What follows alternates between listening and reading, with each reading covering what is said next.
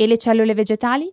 Sono cellule molto speciali perché producono autonomamente l'energia di cui hanno bisogno attraverso la sintesi clorofilliana.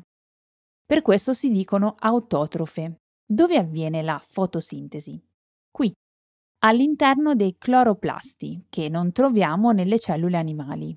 Questa struttura molto estesa è il vacuolo, che nelle piante immagazzina sostanze di riserva come l'acqua.